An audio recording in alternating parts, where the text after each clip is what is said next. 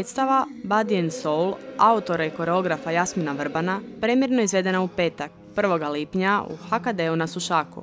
Glavna inspiracija u nastanku dijela je u izvornom radu Revelations iz 1960. godine američkog plesnog kazališta Elvin Ailey. Izvedba se temelji na suvremenome plesu, a ima i elemenata fizičkog teatra i baleta. Izvođači su Vanja Boškovski, Marina Koprivnikar, Sintija Kučić, Vanessa Kučić, Tomislav Mužević i Jasmin Vrban. Autor nam je otkrio zašto je odlučio spojiti razne stilove plesa. Pa u biti mi je bilo zanimljivo kombinirati te razne stilove, od suvremenog baleta pa hip-hop, capoeira, e, ovaj, jer u biti glazba je tako malo ovaj, življa i da se iskoristiti razni stilovi i zanimljiva je kombinacija.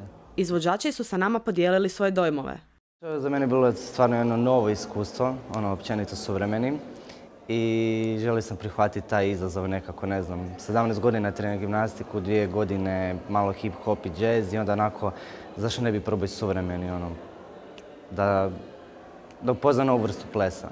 Učinila mi se kao nova prilika iz tog razloga što sam u baletu već 15 godina i suvremenim plesom se nikad nisam bavila do sada i eto, jedna nova vrsta iskustva i avanture na neki način.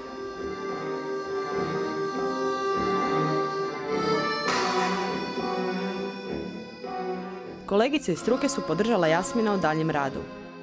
Predstava je bila u ovaj, naime jedan Jasminov rad koji je zapravo već dugo godina prepoznatljiv. Njega zanima znači jedna, eh, jedna eh, forma plesa koju on već jako dugo gaji i ovo mu je definitivno znači jedan, jedan eh, korak naprijed u svom njegovom promišljanju do sada. Znači prvo je radio nekakve mini autorske radove, sada je to zapravo prebacio na grupu i na nekakav grupni rad, te je napravio jednu kombinaciju plesnu zapravo koja, koja nekako se činila već davno da će nastati, ali evo ovaj, danas smo je uspjeli vidjeti. I'm really proud of Yasmin.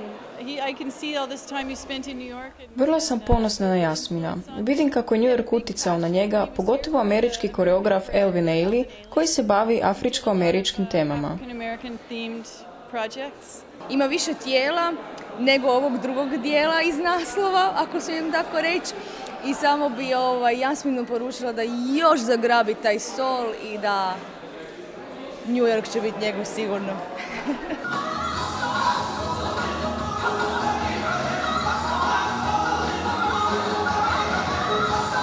Zadovoljan sam s izvedbom i s posjećenošću.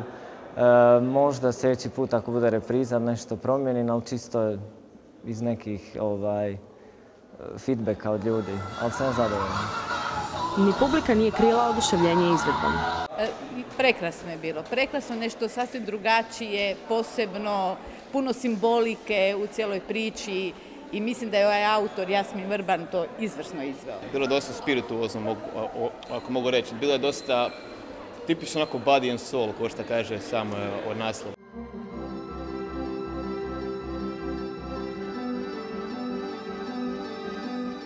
Autorski rad Body and Soul bogat je simbolikom. Simbolika se isprepliče u fizičkoj i duhovnoj dimenziji života. Taj je odnos prikazan kroz suživot robova.